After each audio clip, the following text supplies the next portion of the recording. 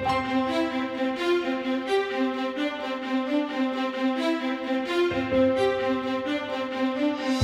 give me a range of what your renovation costs were on this property. What was the lowest? I mean, you guys can just shout it out. You know, we're all in the same place here. Just com- combine. 42? At 20. 20? 15. 15? What'd you have? What'd you have? 60. 60? Hey, he did too? I was about 30, but some stuff. I assumed I would be doing something myself. All right. That's That- what I, that's what I looked at. 35. 35,000? I fifty-five, cause I don't know the plumbing, so. I got you. 55? What about y'all? Roundabout? I would say quick assessment about forty. 40,000? I Okay. fifty.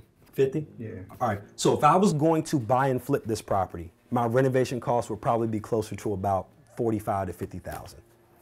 Because I, I have to do renovations that make the person who want to come in and purchase the property For this area. correct.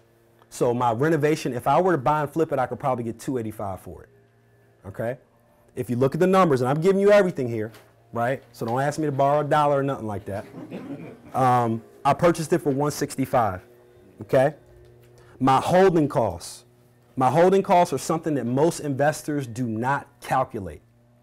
Holding costs means any interest that I take that I have to pay on my money because although I can use my own cash, I'd rather not use all my own cash. So I have banking relationships with bankers who, number one, give me a lot of money to be able to go out and buy flip. I've showed them past performance on all my buys and flips, so they give me that type of money. Those are relationships that were built years before I needed the money. So if you go to a bank and you say, I want you to, to give me an equity line for a million dollars, which is what I have, um, they ask me how many, how many properties had you, have you bought and flipped in your own? Show me the portfolio. If you haven't done any, they're not going to give it to you. But I was able to show them 20. So I'm a very attractive candidate for them. That relationship starts early.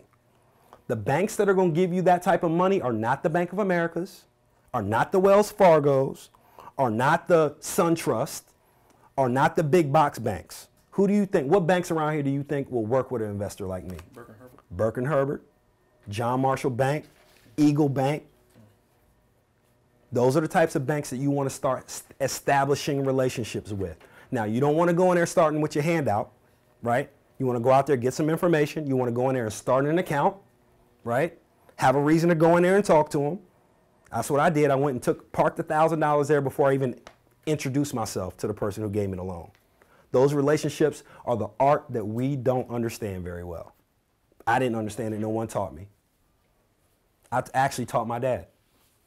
Those are relationships that we got to start building right now. You think you want to be a commercial investor, you want to do this at a high level, you need to start having making friends with banks, and you need to do it with multiple banks, smaller regional banks. If you're going home to do stuff, you need to find a, a smaller regional bank back home, park a thousand dollars, establish a relationship with them now.